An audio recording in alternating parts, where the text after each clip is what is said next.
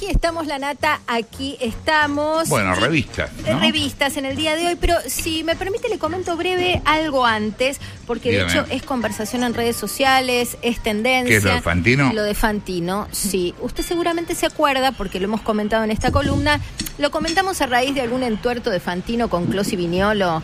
¿Se acuerda que a Alejandro lo habían convocado de la agrupación Nueva Generación de la Facultad de Periodismo de La Plata? Una agrupación, entiendo, ligada a Bernie en algún sentido, vamos a decir, eh, eh, de corriente política, así me dice gente de adentro de, de la facultad. Bueno, lo habían invitado a dar una charla debate Sí. sobre cuestiones vinculadas al periodismo deportivo.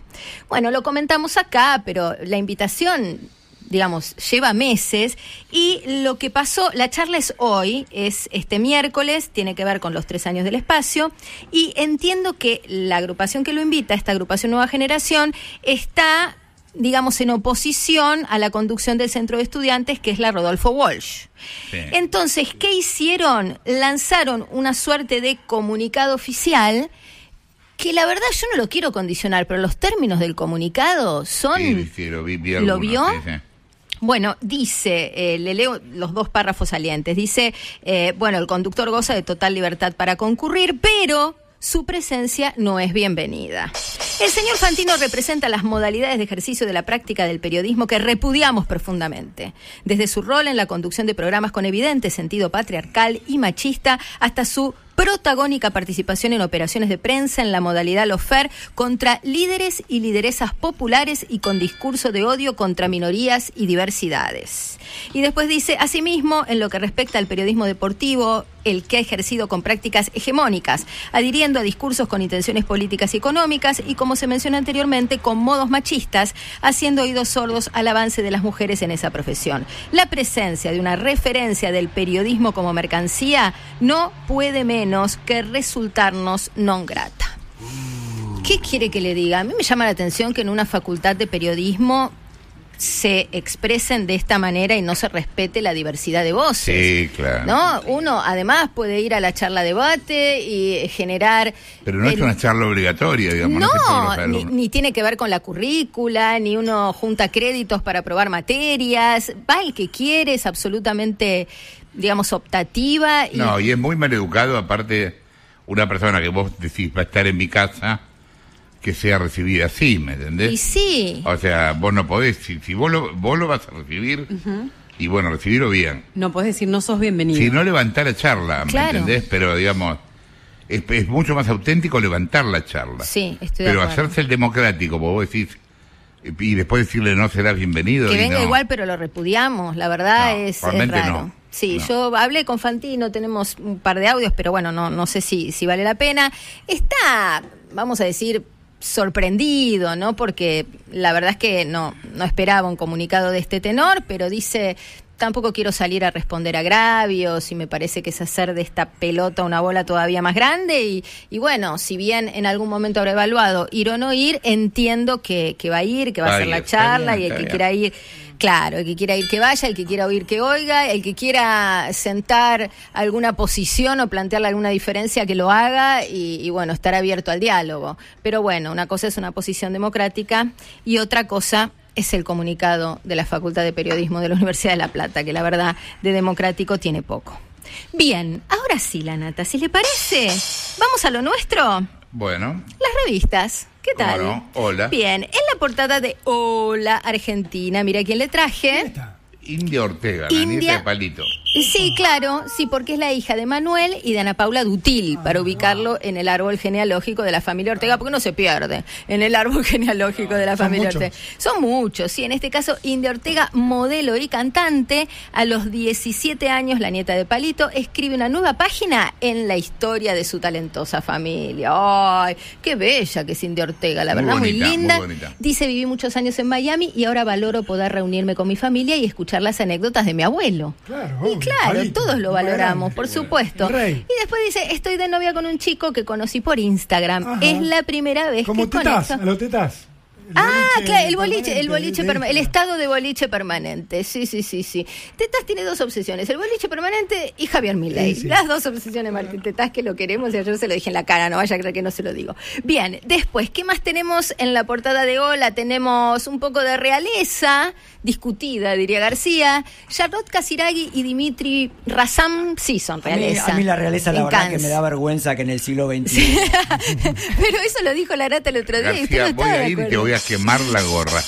Sí, no, pero la gorra es eh, La Utah, republicana. ¿no? Claro, es el- Claro. Del Partido No Republicano. es monárquica. Ahí está, no es monárquica, no. Bueno, en este caso, Charlotte Casiraghi y Dimitri Razam, que inauguran la alfombra roja más glamorosa del cine. ¿Y qué tienen que ver con el cine esto? Va, Dimitri Razam me parece que sí, que tiene que ver No sé con, que con producción. Sí, ponga sí, plata, sí, sí. Sí, sí, bueno. sí. Y google a Dimitri, Sí, porque... es, es un canoso con billetera. Eh, sí, bueno. billetera Matagalán, sí, sí. Después hay una nota rarísima, está la aristócrata Alejandra de Rojas, que enfrenta rumores, la nata. Uy, sí, sí, sí. rumores. Ah, ¿Quién es la aristócrata Alejandra de Rojas? y ahora con, con el rumor que Ah, desmiente usted la... ser la hija del rey Juan Carlos.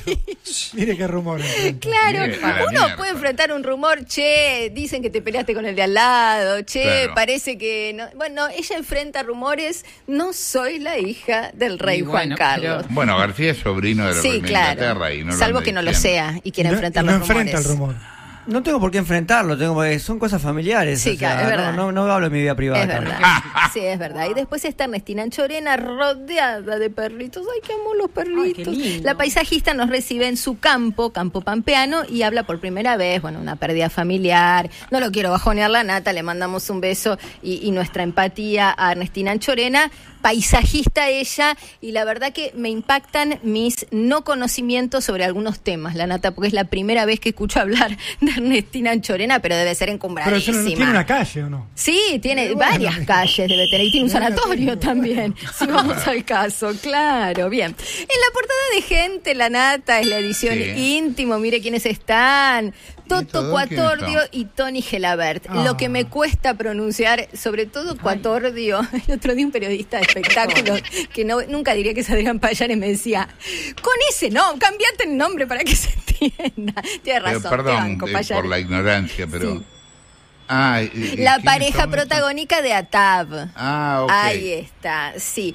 De hecho, el título tiene que ver con esto. Es una nota un poco extemporánea, porque Atab, no digo que esté más cerca del arpa que de la guitarra, pero casi que sí. Entonces, esto era más para el lanzamiento de Atab. Claro, Ahora me queda como claro. Llega fuera. tarde. Llega tarde. El es que tenía una un nota. título corto y contundente, ¿no? Sí, espere que voy a tomar aire y agua para poder leérselo porque es muy complejo. Espere. Vamos, respire. Ahí voy, Bufflet. Desde Atab pudimos dar el mensaje que la sociedad necesitaba escuchar. Bien. Ah, la mía. Bien, bien, Sí, igual no quiero ser cruel. La ¿El nata. fin de la grieta es el Sí. mensaje? No, no, no, no es ese. Es, ellos hacen hincapié en que es la primera telenovela argentina cuya pareja protagónica es una pareja gay. Primero, ¿Es realmente la primera? Eh, incomprobabilísimo. En el cine se ha visto un montón. sí, sí, sí, sí. La verdad es que en, en telenovelas así costumbristas probablemente sea la primera. Igual yo lo que creo que no es feliz en este título es esto de lo que la sociedad necesitaba escuchar. Sí. Porque la deja servida para que alguien malicioso como yo diga y tanto lo necesitaba escuchar porque los números no te están avalando, querido. O sea, no O y acá no tiene Bueno. nada que ver la cuestión del género, de la elección sexual, tiene que ver con el producto estrictamente, ¿no? Es muy raro todo lo que dicen en la nota. Igual la nota está bien porque hace mucho hincapié en esto de romper con algunos paradigmas de la pareja tradicional, de la pareja hegemónica, eso está bien. Igual hay cosas que yo les haría el punto a estos chicos, que son dos chicos encantadores, tremendos actores, me encanta, les creo todo. Pero dicen, Tony dice, ¿no? ¿Quién es quién, cuál es cuál? No importa. Tony dice, ya da igual si el rating es bueno o malo. No, no, no, No, no, Tony, no, no. Tony. No, no, nada nos da igual y lo que menos nos da igual es si el rating es bueno ¿Por o qué, malo. ¿Por qué dice eso? ¿Qué le preguntan? Eh, espere, viene, dice, hicimos en, ah, le preguntan por la sinergia en el elenco. ¿No? Esto de eh, el hecho de haber grabado todo con anticipación y que la novela sea paquete cerrado. Ah, ok, ok, ok. Que Claro. no puedo modificar de acuerdo a Exacto, entonces dice, hicimos encuentros desde que se estrenó y desde la primera vez, después nos fuimos de fiesta todos a charlar de la vida, a disfrutar de nosotros. Ya da igual si el rating es bueno o malo, no, querido, te tienen que volver a contratar. No, mi amor, así vamos mal. Y después dice, lo mejor es que estamos hablando por el grupo de WhatsApp. Y Bueno. yo preferiría medir si fuera ellos, pero ellos se conforman con el grupo de WhatsApp, me encanta. Y después parece que Tony, que es español, trajo un montón de juegos de España, de la Ah. madre patria. Sí. ¿Cuál? ¿Qué? Porque- Piragua, la El piragua. Claro, el Tato juego de la dice, Oca. claro, bueno, más o menos, Barbano, está cerca, ¿eh?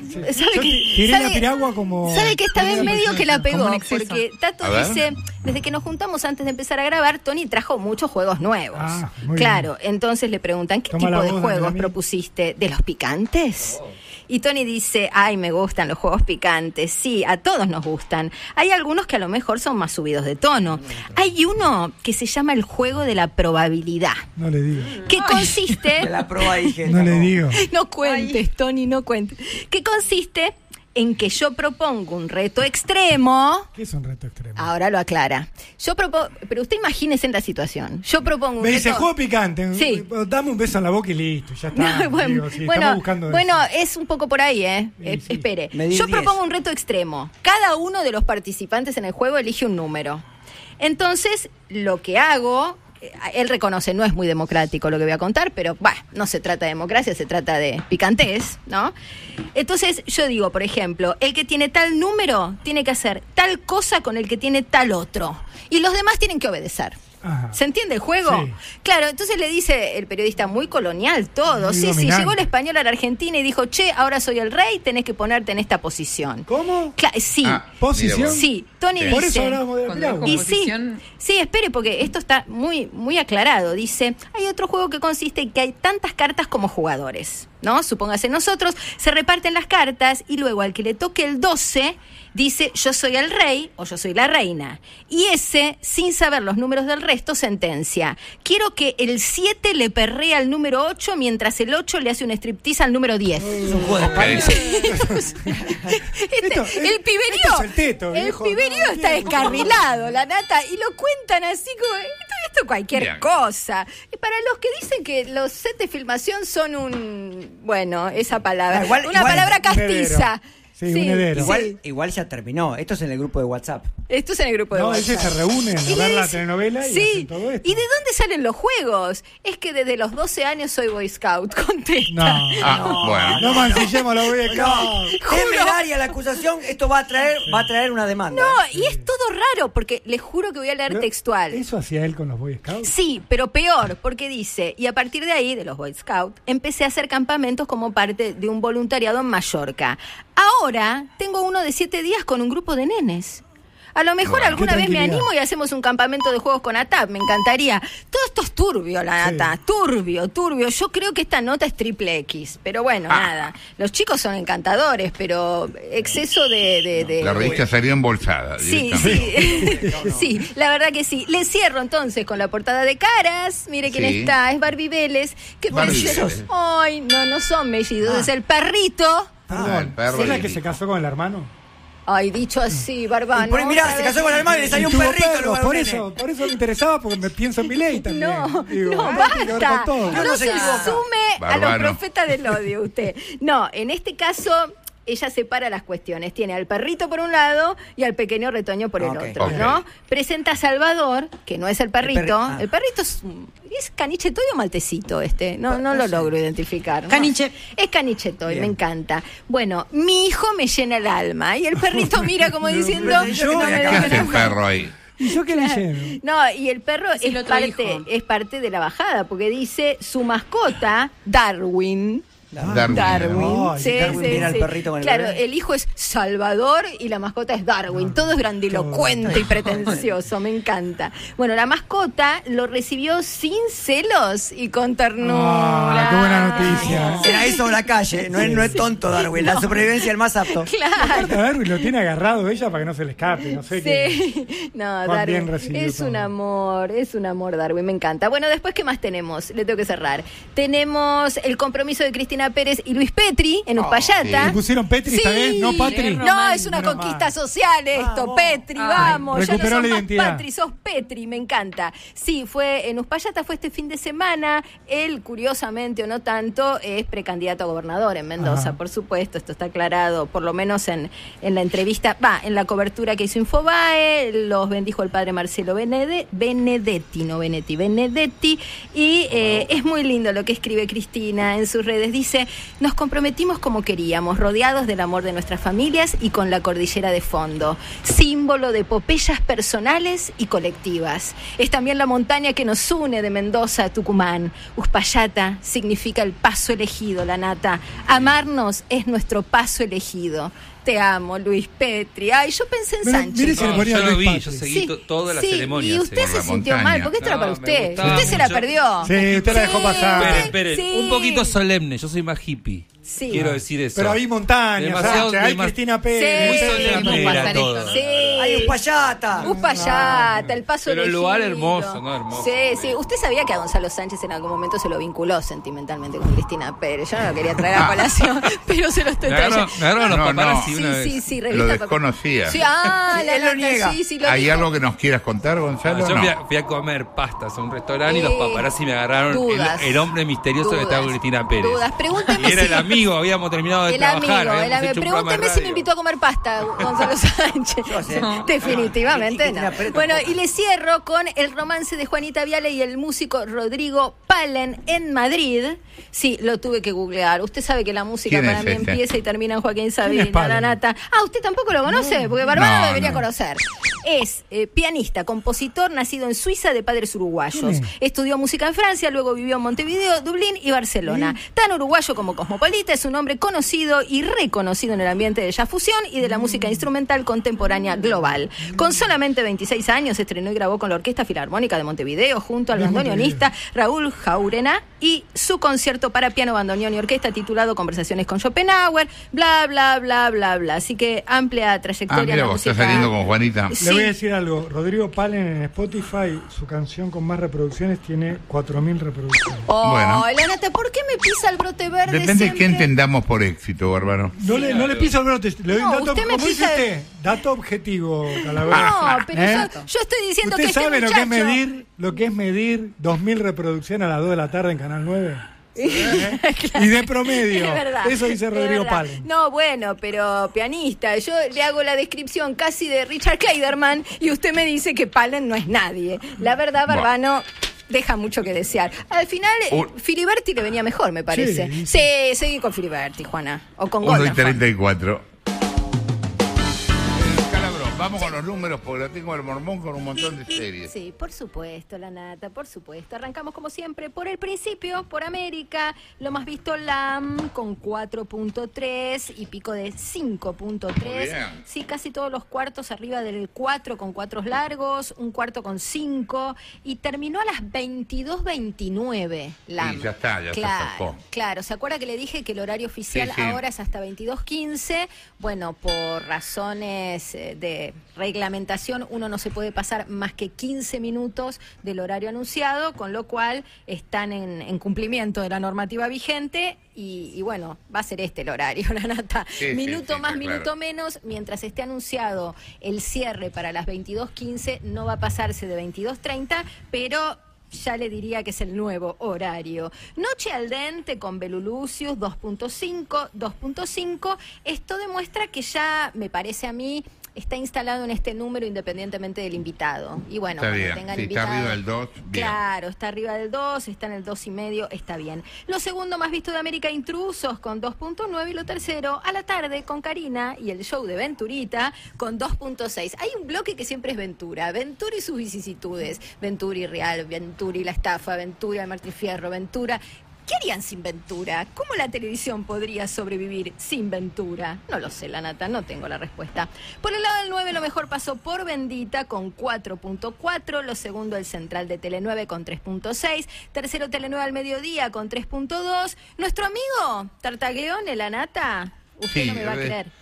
Cururigliones, ¿cuánto hizo? ¿Cómo se llama ahora? Cururigliones. Ah, médico de familia hizo 2.3. Papá. Sí, sí, con picos arriba del 3. Para vos, Eladio. Sí, sí, con el botiquín de los enojos. Ay, dije, ¿qué es el botiquín de los enojos? Bueno, parece que tienen una psicóloga que va desarrollando problemáticas que guardan en un botiquín, en este caso, los enojos y cómo tramitarlos. Así que suceso el enojo, la nata. Se nota que Bien. nos enojamos mucho. ¿Qué sé yo? Bien, en la competencia de la segunda mañana, la Barbarosa 4.9. Arielito en su salsa, esto es otro ¿Cuánto disgusto. hizo? 7.3. Qué Ah, increíble. No, la verdad, le deja un lindo cuarto de 6-2 Georgina, pero él entrega un cuarto de 8-6 al noticiero de la gente. No, no, un disgusto todo esto. Nosotros a la mañana con el pollito, por ahora el pollito, porque vio que estamos esperando Sí, sí. a Doman. ¿Se acuerda esperando a Doman en América cuando iba a conducir Intratables, que lo estuvieron esperando dos decía, meses? sí, lo sí. esperaron más de lo que se quedó. Sí, ese, Y vio, es así, Doman. Es muy inestable. Bueno, nosotros a la mañana con el pollito 2.7, socios del espectáculo 3.4 y el zorro 4. Socios deja un cuarto de 3.9, deja arriba el 4, digámoslo. Pasaplatos con Carinita Zampini 4.1. Eh, se me quedó pasaplatos, se me quedó. Yo esperaba un poquitito más. Ah, me contaron que están grabando, bueno, se sabía que estaban grabando el pasaplatos famosos con la conducción de Paula Chávez y parece que hubo un enojo furibundo de Silvina Escudero y enojo furibundo. Así que Ah. no puedo decir a qué está asociado el enojo porque no le quiero sacar la nariz al payaso, pero, pero bueno, ya tenemos la primera famosa enojada. Bien, ¿qué más? Yendo al podio, primero quedó Masterchef con 11.4 y pico de 13.2. Le diría que Wanda es casi ya número puesto para la conducción de los Martín Fierro, ¿eh? Ah, sí. Sí, yo la verdad que estuve averiguando y, y me parece que, que es la elegida de Telefe, la dupla con Marley, más allá de que Aptra hubiera preferido a Santiago del Moro y Verónica Lozano. Pero bueno, donde manda capitán no manda marinero, ¿qué va a hacer? Nos pagan la obra social, listo, la nata, estamos contentos. Así es la vida. Sí, segundo Pantanal con 11.2, tercero Telefe Noticias con 10.7 de promedio, cuarto lo mejor del 13, los ocho escalones de los 3 millones con 10.5 de promedio y pico de 12.2. Es una pena que ATAP no lo pueda sostener, todos los cuartos son a la baja y el promedio es 6.3.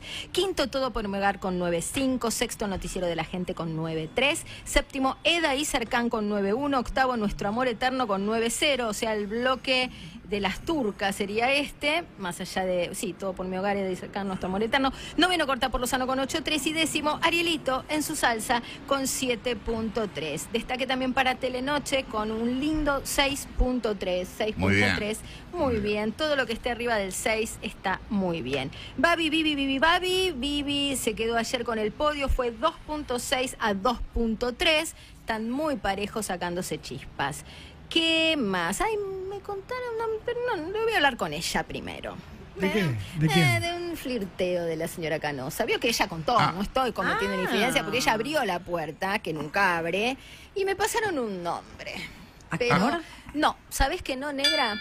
Más bien del rubro de periodismo, pero lo voy a consultar con ella porque no, no la quiero comprometer y lo digo porque es una mujer sin compromiso y porque ha abierto la puerta al amor. Son y Si no- 47. Sí, primero Jonito hizo más realidad con Sí. 4.8 de promedio y pico de 5.5. Segundo Sí, Pablo Rossi con 4.5 con su hora 17. Tercero el segmento de Roxy y Lape, Lape y Roxy con 3.6. Cuarto el noticiero de Feynman con 3.5. Quinto Rosy Majulito, Majulito Rossi con su más nación. Feliz cumple a Luis Majul, que ya se lo dije, pero se lo reitero. 3.4. Sexto el diario de Leuco y Plager ayer con Tetaz y con De Loredo. Simpático De Loredo, me cae bien. Bien, nada, un dato random, a quién le importa. El diario de Leuco y el segmento de las 10 de la mañana de TN, ambos con 3.1. Séptimo más Viviana y el gato silvestre. Ay, la cara del gato ayer con el- la declinación. Ay, la cara. Guado pica en punta, rezaba el graf. Bien, en fin. Estos dos programas, o sea, Vivi y el gato 2.6 y octavo, conflicto de intereses por C5 con Juana Morín 2.5. Para todos los mencionados a las corridas La Nata, aplauso. Aplauso, medalla y beso. ¿Querés renovar tu piel? ¿Estás buscando la mejor línea de productos de renovación celular? El resultado es LACA. Laboratorio LACA es la marca de cosmética que eligen, venden y recomiendan las mejores profesionales de la estética. LACA, creamos belleza. Seguinos en redes sociales, arroba laboratorio LACA. Presentó este segmento Libra Seguros. Hay una actitud que nos hace diferentes. La actitud Libra, la actitud que avanza siempre. Gracias a la gente de Dos Escudos, Juncal 905, Montevideo 1690 y San Benito de Palermo 1695. Y ahora, señores, desgraciadamente se encuentra aquí. Desgraciadamente. Sí, desgraciadamente. Afortunadamente.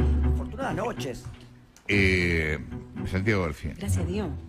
Eh, gracias Negra por el apoyo. Este, bueno, vamos a hablar de series. Vam- Vamos a empezar con una serie, primera temporada de la serie Diamantes Turbios que se estrenó. Diamantes turbios. Diamantes turbios. Mira cómo son los diamantes. Porque el- uno, uno va, se compra joyas, anillos, este, collares. En tiaras. César, en, Pe- en Cipriano. Che, ca- Eh, Bueno, eh, me arruinó el chiste.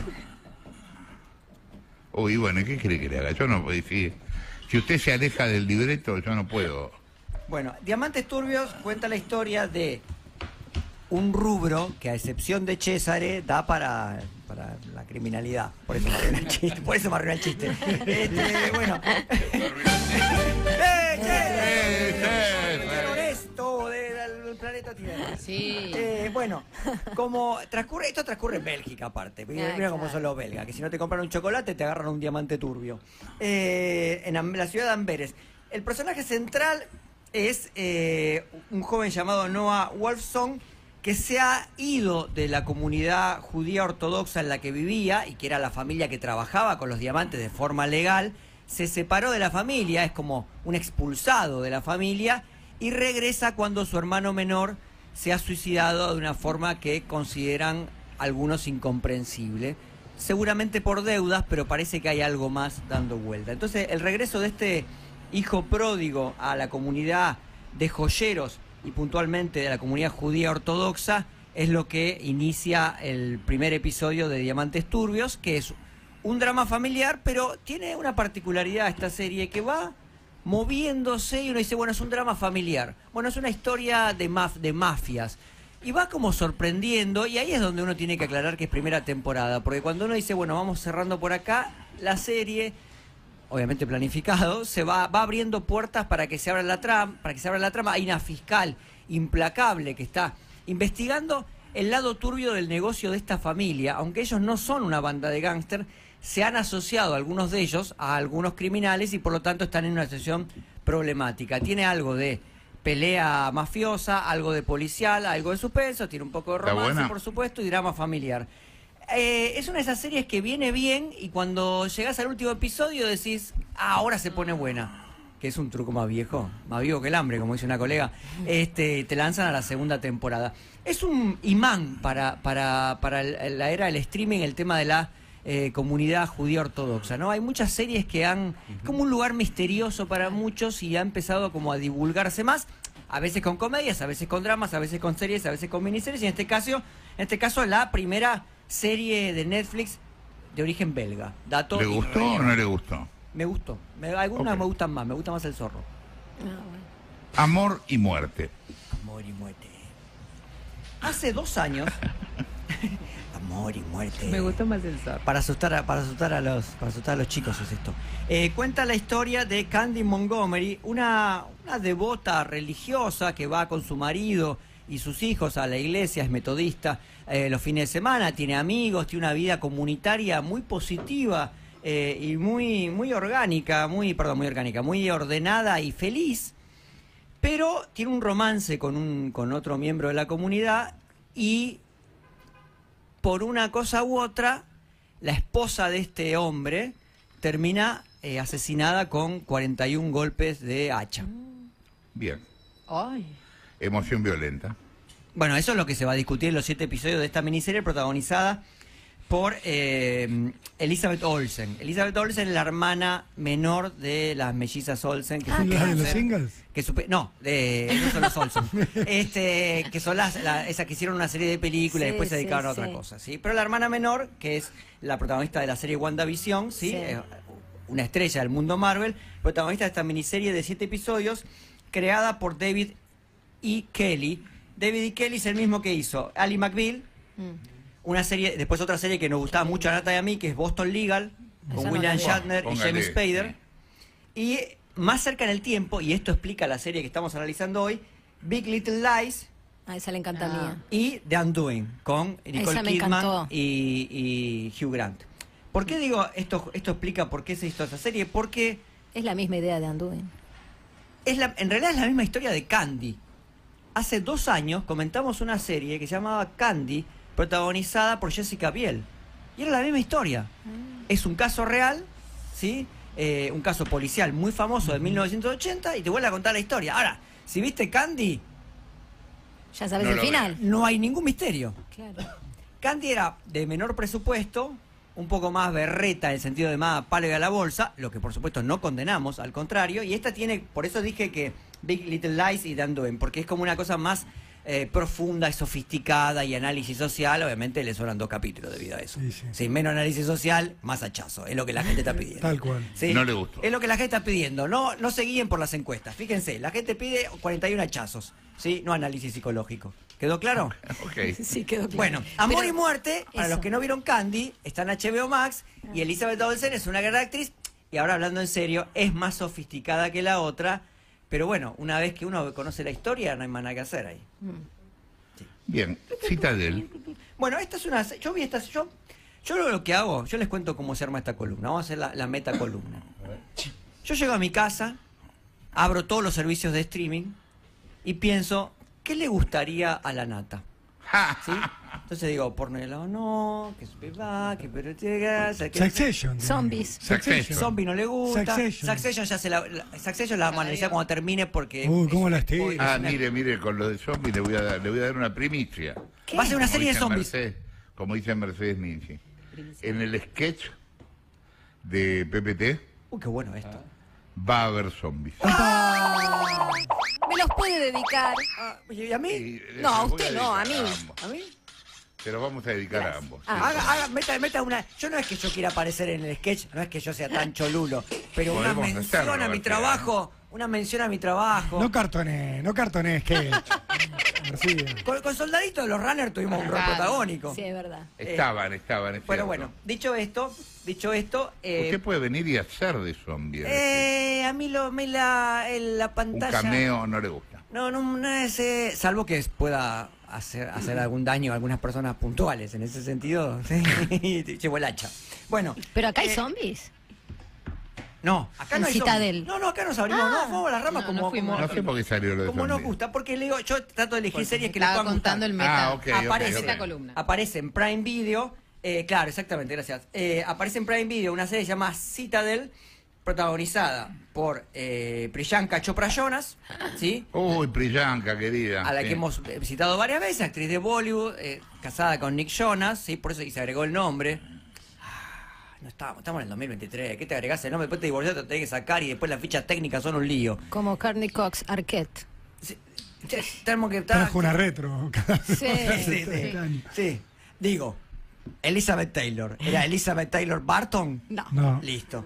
Eh, bueno, el Richard Maiden es el coprotagonista, uno de los actores este, de, de Game of Thrones. Les decía, eh, esta es una serie de espionaje, pero no de espionaje de intrigas al estilo de eh, las series británicas, de la Guerra Fría. No, esto es de espionaje al estilo James Bond o el agente de Cipoll. Los dos protagonistas trabajan para una agencia y hay una agencia mala, digamos. La Citadel, que es la agencia buena. Exacto, son los agentes buenos, entre comillas, ¿no? ¿Y los malos cómo se llaman? Eh, se llaman eh, eh, Manticor se llaman.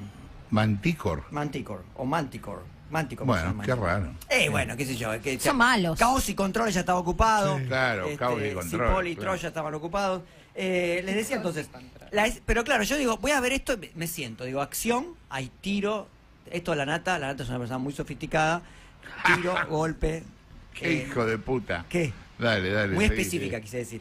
Eh, empieza la serie. Primera escena. la- esta está producida por los hermanos rusos. Los hermanos rusos son los que han hecho las películas de los Avengers, ¿sí? Ajá. Endgame, o sea, esas películas que batieron récord de taquilla con todos los Avengers juntos, en descontrol, son de ellos. Personajes bastante discutidos en el mundo del cine. Y acá la escena inicial es en un tren, en Italia, por los Alpes, y ahí define el tono de la serie. El tono de la serie es un tono de James Bond muy artificial, visualmente se ve muy artificial, muy exagerado todo, y están ellos dos, los dos protagonistas, a los tiros en un vagón de tren a máxima velocidad. Es muy divertida la serie inicial, se nota algo que es... eh, que es que es una serie cara, se nota. Vieron que a veces una- una serie cara y no se nota. Bueno, los 300 millones de dólares que costó hacer seis episodios se Bueno. notan, ¿sí? En un Bien momento- gastados. En un momento entra un tipo y tiene, tiene un fajo de billete para redondear el número. Claro. Pero básicamente es, es muy, para la nata es muy artificial, es como mucha fantasía tiene lamentablemente. Demasiado, ahí donde, no, por eso, no ahí, ahí donde entra la nata. Acá Pero- Margarita me dice que no. Claro, no es el estilo la nata. Yo entré con esa, con esa ilusión, porque uno, uno vive. Sí, sí. La, ilus- la ilusión también se vive. Pero claro. Estoy Eh, harto de ver Jason solamente. Esto es James Bo- esto es, esto es más, esto es casi es un Cipoll un poco más serio, gran error, gran error, Cipoll no tiene que ser serio. Bueno, la cosa es que en ese, en ese tren ocurre algo con lo cual los dos protagonistas pierden la memoria. Durante 10 años, Oh, no, cada uno va por su rumbo hasta que se vuelven a encontrar y ahí nos explican cómo fue todo esto de que perdió la memoria y cómo se No, recupera. basta, bla, bla, basta de boludeces. No. Tiene muchas escenas que están copiadas literalmente de películas de James Bond, literalmente, con la tecnología actual. Ahora uno cuando ve estas escenas piensa, si las películas de Sean Connery, o de George Lazenby, o de Roger Moore, que son las que están tecnológicamente más atrasadas, hubieran tenido la tecnología que se tiene hoy para hacer algunas escenas de acción, mamita, hubiera sido realmente increíble. Cara, con actores muy carismáticos, trabaja Stanley Tucci, que se ve que agarra, Stanley Tucci agarra, la verdad que lo felicito, Stanley Tucci, le va muy bien. Eh, para los que le gusta este tipo de, de, de- de ficciones, para los que le gustan las películas más de los Avengers que de, que de un policial con Gary Oldman, bueno, ahí está Citadel, está en Prime Video. Tan, tan, tan. Bien. Hoy estuvo, tarararán, tuvo taran, momentos de violencia. Sí, me gusta un poco la, la violencia. A veces yo no estoy, yo estoy en contra de la violencia, en general. Ok. Tuvo momentos violentos. Yo percibí en el equipo cierto temor de que usted un día entre con un arma. Sí. No, con un hacha concretamente. O bueno, sí, un arma, por eso. Puede ser un hacha o... No, porque la, escopeta es más pa- un temor para la población, No, porque no uno imagina a García en una azotea, pero acá en la No, no, radio no, el miedo acá, es el hacha. Un hacha. Sí, un la hacha. inteligencia artificial no te tenemos miedo, te vamos a cagar a tiro. A los Son las hachazos dos voy a matar a la inteligencia artificial, si se me, si me provoca. Son las dos de Algoritmo. la tarde. Vení, algoritmo, vení, vení que te peleo. Santiago, el hijo de Sam Opa, García. Momento en el que Bufflet decimos ¿qué? Sí. Chao.